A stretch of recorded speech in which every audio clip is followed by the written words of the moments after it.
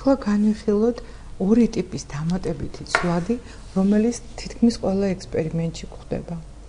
ესენია ეგრეთ წოდებული მოლოდინის ეფექტი და ეგრეთ წოდებული პლაცებო ეფექტი. მოლოდინის ეფექტი ჩნდება მაშინ, როცა მკვლევარი ძალაუნებურად, უფრო სწორედ მისდაუნებურად მიანიშნებს მონაწილეებს რა ტიპის ქცევას მოელის მათგან, რითაც სასურველ რეაქციას იღებს. ამ დროს გამომწვევი მიზეზი გახლავთ არა დამოუკიდებელი ცვლადი, არამედ ექსპერიმენტატორის მოლოდინი. აა ერთ-ერთმა მკვლევარმა შეისწავლა მოლოდინის ტენდენციურობის ფენომენი და ნახა თუ როგორ ამახინჯებს ის კვლევის შედეგებს. რაც შეეხება პლაცებოს ეფექტს, იგი მაშინ ჩნდება, როცა ა ექსპერიმენტის, ესე ვთქვათ, მონაწილეები ექსპერიმენტული манипуляციის ჩარეების გარეშე იცვლიან ქცევას. ეს ტერმინი მედიცინიდან მოდის, პლაცებო, იმ შემთხვევების აღსანიშნავად, როდესაც პაციენტის ჯანმრთელობის მდგომარეობა ქიმიურად ინერტული, ანუ წამლის ეს ნიშნავს, რომ არაეფექტური წამლის, არანამდვილი წამლის შეიძლება ვთქვათ, მიღების შემდეგ მაინც უმჯობესდებოდა.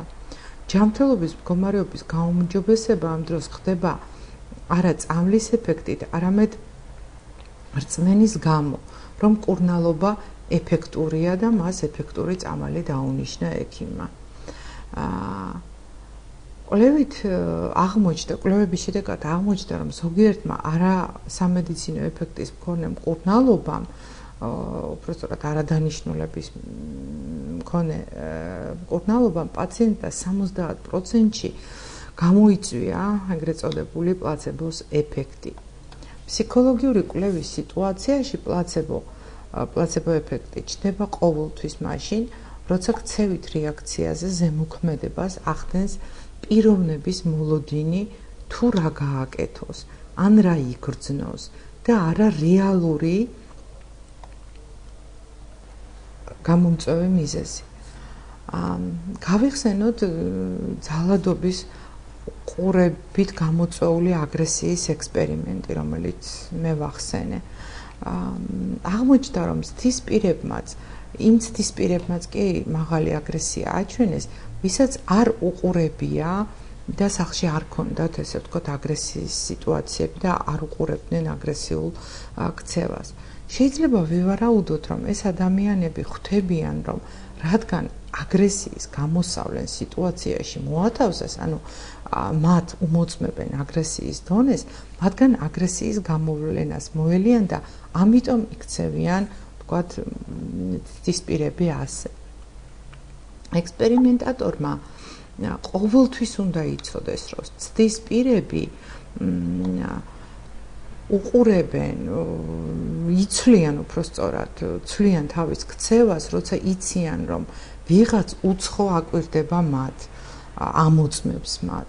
მაგალითად, მონაწილეები განსაკუთრებულად გრძნობენ თავს არაბუნებრივად გრძნობენ თავს, როცა კვლევაში მონაწილეობისათვის შეარჩევენ მათ რატომღაც და ამიტომ განსხვავებულად იქცევიან და არაჩვეულებრივად.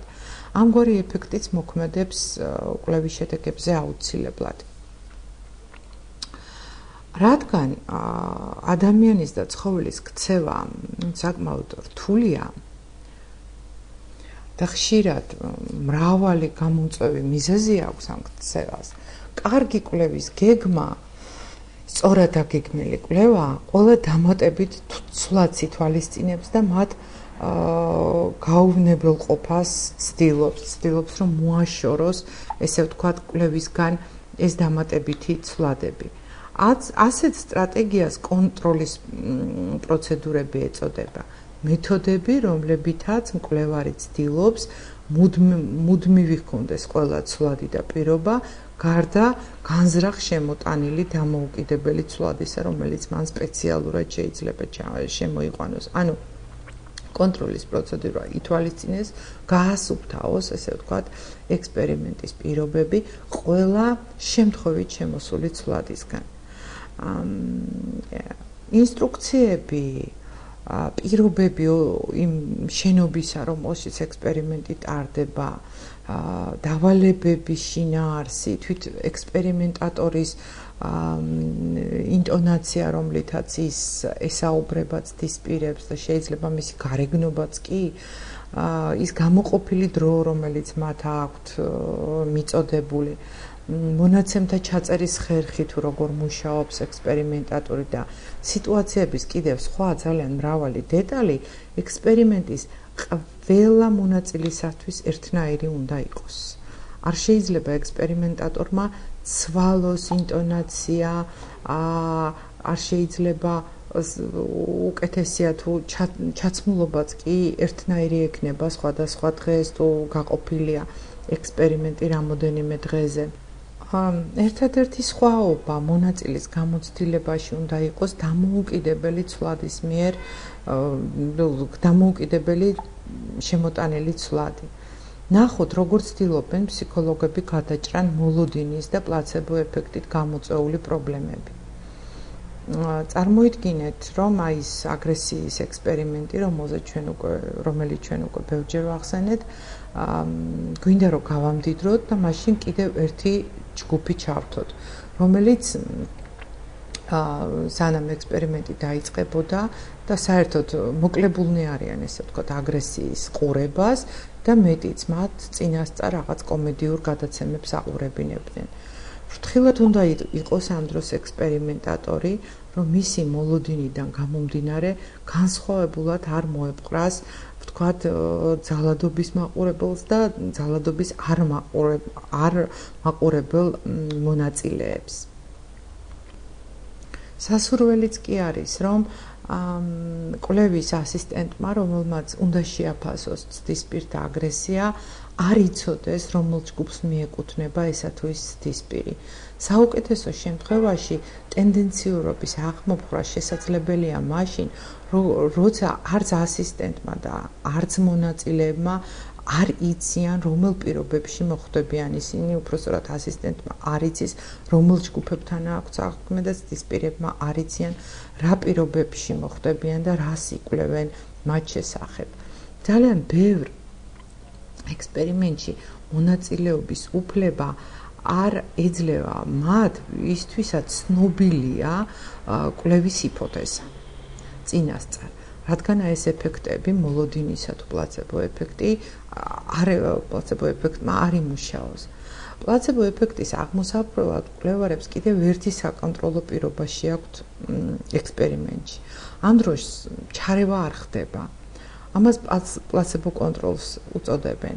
აი ეს კონტროლი კონტროლის ზოგად კატეგორიაში შედის და რომელშიც შედარების საშუალებას რომელიც თავის მხრივ შედარების საშუალებას აძლევს ექსპერიმენტატორს. აქ ძალიან მნიშვნელოვანია ასევე ვიცოდეთ ვიცოდეთ ეგრეთ წოდებული საკონტროლო ჯგუფის შესახებ. ანუ საკონტროლო ჯგუფი რომელიც რომელსაც იგივე პირობებში იგივე სიტუაციაში უტარდება იგივე მეთოდით იკვლევენ იგივე მეთოდით რასაც ძირით როგორ ძირითად ჯგუფს და შემდგომ დარდება მათი მონაცემები ერთმანეთთან. საკონტროლო პირობაში მიღებული მონაცემები მნიშვნელოვან საფუძველს გვაძლევს, რომელსაც ექსპერიმენტის ეფექტს ვადარებთ ზოგადად.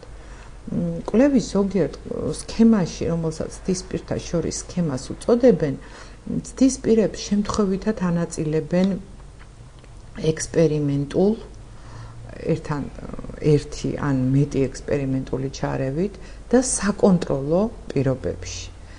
დისპირების შემთხვევითი განაწილება ერთ-ერთი შეიძლება ითქვას ყველაზე შეიძლება ითქვას ძალიან ეფექტური საშუალებებაცა იმ დამატებითი ცვლადების აღმოსაყრელად, რომლებიც თის პირებს შორის არსებული ინდივიდუალური განსხვავებების გამო იჩენს ხოლმე თავს. სწორედ ამგვარ სქემას გულისხმობთ აგრესიის ექსპერიმენტი, როდესაც მოგახსენეთ. ექსპერიმენტულ და საკონტროლო პირობა პირობაში ცდისპირების შემთხვევითი განაწილება იმის დიდ შანს გვაძლევს, რომ ორივე ჯგუფში მსგავსი ცდისპირები მოხვდნენ. რადგან შემთხვევითი განაწილებისას თითოეულ ცდისპირს, როგორც საკონტროლო, ასევე ექსპერიმენტულ ჯგუფში მოხვედრის ერთი და იგივე ალბათობა აქვს. ასე შემთხვევაში არ გამოვა ისე, რომ ექსპერიმენტულ ჯგუფში მხოლოდ ძალადობის სცენების მაყურებელი ცდისპირები მოხვდებიან და საკონტროლოში ძალადობის სცენების არ მაყურებელი ცდისპირები. შემთხვევითმა განაწილებამ ორივე ტიპის ადამიანი უნდა მოახვედროს თითოეულ ჯგუფში. თუ შედეგად აა ჯგუფის შედეგებს შორის სხვაობას მივიღებთ, მაშინ კიდევ უფრო დარწმუნებული ვიქნებით, რომ ამ სხვაობას ჩვენი ჩარევა იწევს და არაც თისპირებს შორის განსხვავება და შედეგი სახეზე იქნება. ანონიმურობის ეფექტზე მინდა მოგახსენოთ ორიოდეს სიტყვა. ანუ ექსპერიმენტში მონაწილე ცდისპირთა ანონიმურობა. ანონიმურობის ეფექტი მნიშვნელოვანია. ერთი და იგივე ბავშვები მაგალითად, ბევრად მაღალ აგრესიას ავლენენ ანონიმურ პირობებში, ვიდრე მანამ და შემდეგ არაანონიმურ არაანონიმურ პირობებში მეორე. კვლევარები ცდილობენ ეს იმით არის გამოწეული რომ ნუ თუ როდესაც არ არის ანონიმური გამოკითხვა იციან მისი მონაცემები ყველანაირი დისპირებმა იგი თავს იკავებს და ცდილობს ხანაირად მოიქცეს და არაბუნებრივად კვლევარები ცდილობენ შემთხვევით შერჩევას მიუახლოვდნენ მაშინ როდესაც დისპირებს კვლევაში მონაწილეობის მისაღებად იწვევენ ჩაულებრივ ფსიქოლოგიურ ექსპერიმენტში 20-დან 100-ის პირამდე ადამიანი, ну 100 100-ის პირი მონაწილეობ შეიძლება გაცილებით მეტიც. შერჩევაზე მიღებულ შედეგებს კი შედეგებს კი მკვლევარი იმ პოპულაციაზე ანზოგადებს, საიდან საიდანაც მიიღო ეს შერჩევა. დავუშვათ გსურ შევამოწმოთ ჰიპოთეზა, რომ აა 10 წლის ბავშვები უფრო ნაკლებს თამაშობენ ვიდრე 4 წლის ბავშვები. კვლევაში სოფლიოს ამასაკის ბავშვთა მხოლოდ მცირე ნაწილს თუ ჩავთავთ, ხო? ყოველას ჩართვა გამორიცხულია, მაგრამ განზოგადების გასაკეთებლად დარწმუნებული უნდა ვიყოთ, რომ ჩვენს მიერ შერჩეულ ბავშვთა ჯგუფები ნებისმიერი შემთხვევით შერჩეული ჯგუფის შესაბამისი იქნება. შერჩევა პოპულაციის რეპრეზენტატულია.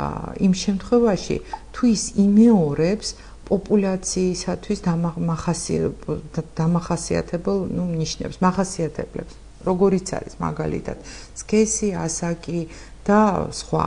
შერჩევაში მხოლოდ ბიჭები რო ყავდეს უფლება არ გვექნება რომ გოგონებზე იგივე დასკვნა გავაკეთოთ რასაც მივიღებთ ბიჭების შემთხვევაში და ასე შემდეგ ექსპერიმენტული სქემის კიდევ ერთი ტიპია ცთის პირებს შიგნით პირებს შორის შიგნით სქემა. აქ თითეული ცთის პირი საკუთარი თავის კონტროლია. მაგალითად შეიძლება ერთმანეთს შევადაროთ ცთის პირთა ქცევა ჩარევამდე და ჩარევის შემდეგ. აა უკან საფუძვლის პირობებში დაბრუნება მკვლევარ საშუალებას აძლევს საბოლოო დარწმუნდეს რომ ცვლილება მხოლოდ მიცი ჩარევის და არა რომელიმე დამატებითი ცვლადის მაგალითად დროის გასვლის შედეგია რაიმე კიდე სხვა სხვა შემთხვევით გაჩენილი ცვლადისა. მადლობას მოგახსენებთ ყურადღებისათვის. ამაზე საუბარს გავაგრძელებთ ამ თემაზე საუბარს გავაგრძელებთ შემდეგ ლექციაზე